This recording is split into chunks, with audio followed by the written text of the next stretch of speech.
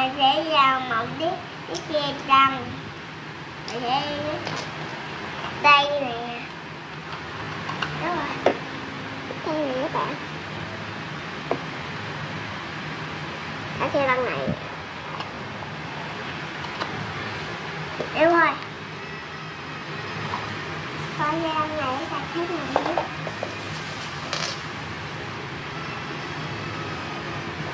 giờ mình sẽ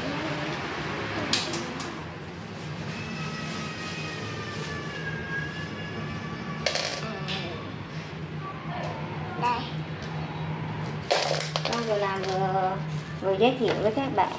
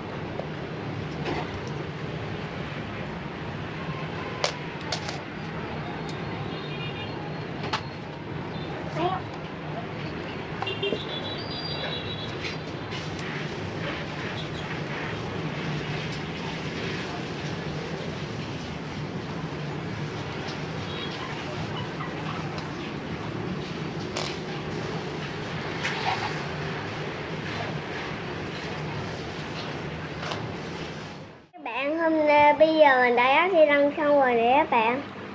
Các bạn thấy đẹp không? Đầu đây này nè.